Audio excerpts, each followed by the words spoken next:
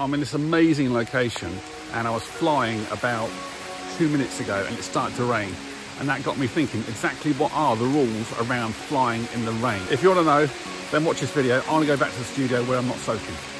Well, I obviously use the term studio loosely, back at home anyway. Have you been caught in the rain? I know I've been caught in the rain a couple of times recently. For me, it's important if I think there could be a shower or there could be rain, then I won't fly very far away so I can land really quickly. It got me thinking, uh, exactly what are the rules around flying in the rain. Thought, well, where to go? So first thing is CAA website. So let's have a look at the CAA website and see what that says. Do not fly for weather could affect your flight.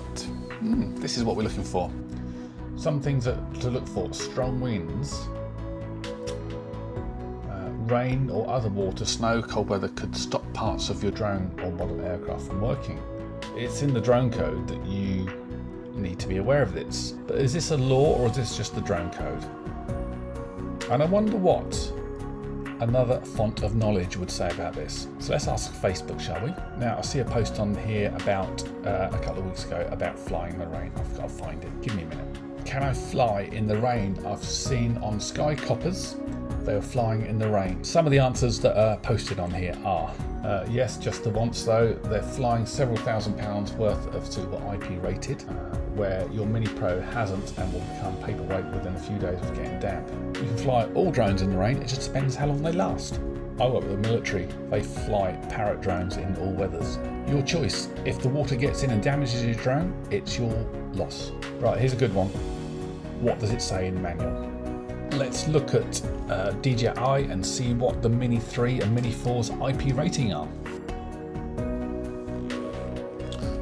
Nothing in there interesting fact if you do an A2 CofC or a GVC qualification, you'll find that the weather actually makes up part of that qualification.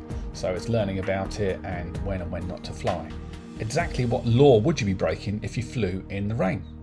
So this is really the law that it comes down to. So if you look at the Air Navigation Order of 2016, Article 241, a person must not recklessly or negligently cause or permit an aircraft to endanger any person or property. So the short answer is if your drone isn't IP rated, then you shouldn't fly in the rain or mist or anything like that. If you get caught in the rain, uh, I'd suggest you land straight away, which is what happened to me recently. I had to land straight away. I uh, didn't intend to fly in the rain, but it happened. I, I guess that could be negligent if um, the rain was starting or if it looked imminent.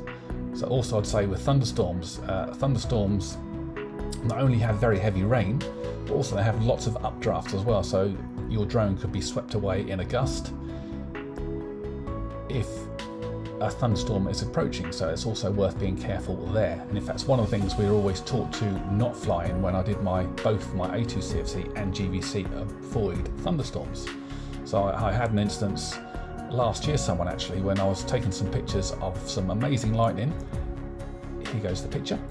And uh, I thought this would look really good on the drone. It just wasn't worth the risk. So coming back a little bit, uh, when we saw somebody flying a larger drone, one of the police flying a larger drone, what about that then? How can they fly a larger drone?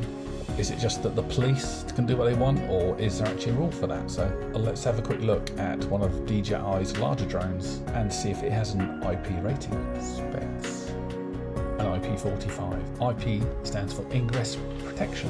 IP45 means you have two numbers here, the first one being for solids and the second one being for liquids. So 4 means protect against solid objects over 1 millimeter, and 5 means water jets, so water projected by a nozzle against enclosure from any direction will have no harmful effects. And this is test duration is one minute. So that's pretty good water protection if you look at that. So light rain is not really going to cause a problem.